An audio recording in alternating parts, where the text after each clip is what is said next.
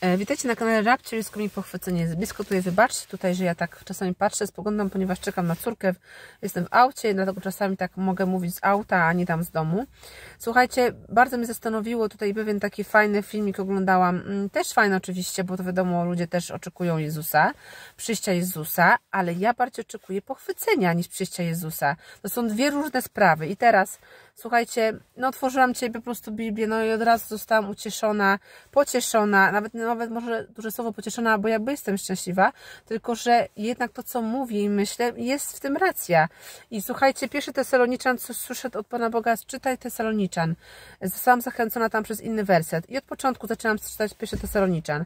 I pierwszy rozdział, słuchajcie, dziesiąty werset od razu mówi taką rzecz.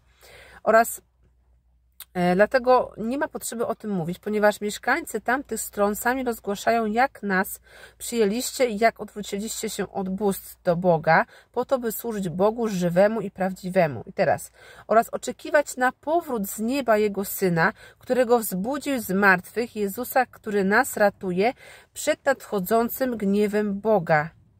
Czyli słuchajcie, pochwycenie będzie przed uratowaniem, uratuje nas przed nadchodzącym gniewem Boga. I kolejny werset dowód na to, że nie będziemy w gniewie Boga, czyli w tym ucisku, który przyjdzie na cały świat, ponieważ Bóg nas nad nadchodzącym gniewem Boga, Jego uratuje. I my pójdziemy do Jezusa, spotkamy się z Nim tam na niebie w chmurach. Wiecie o tym, to jest fragment tak samo z Tesaloniczem, tak samo z Mateusza już o tym nie będę mówiła, ale to mnie tak bardzo zmotywowało kolejny raz, dlaczego ludzie non-stop tylko gadają o tym, że Jezus powróci, Jezus powróci. Wiemy, że powróci po wielkim ucisku.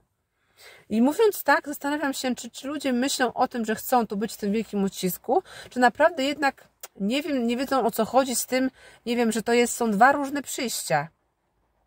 Przyjście Jezusa będzie takie przyjście, że On będzie na tych chmurach i my do Niego pójdziemy bardziej niż On do nas przyjdzie jakby poza spotkamy się w połowie drogi, ale przyjście Jezusa będzie po wielkim ucisku. Także pamiętajcie o tym. Bajo.